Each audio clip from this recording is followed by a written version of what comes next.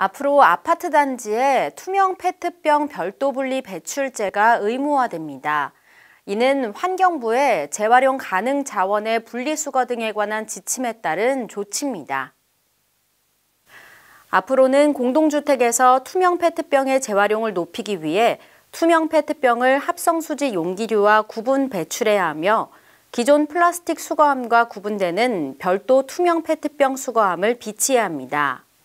다세대 및 단독 주택의 경우 1년의 유예 기간을 거쳐 2021년 12월부터 요일제 의무화가 시행됩니다.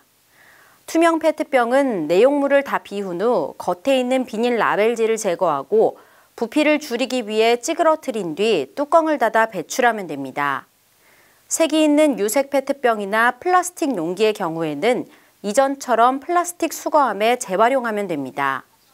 씻어도 이물질이 제거되지 않은 용기와 과일망, 과일 포장재, 아이스팩, 기저귀, 화장지 등은 재활용이 되지 않아 종량제 봉투에 버려야 합니다. 분리배출의 기준에 대해 자세히 알고 싶은 경우 내 손안의 분리배출 스마트폰 어플리케이션을 다운받으면 확인할 수 있습니다.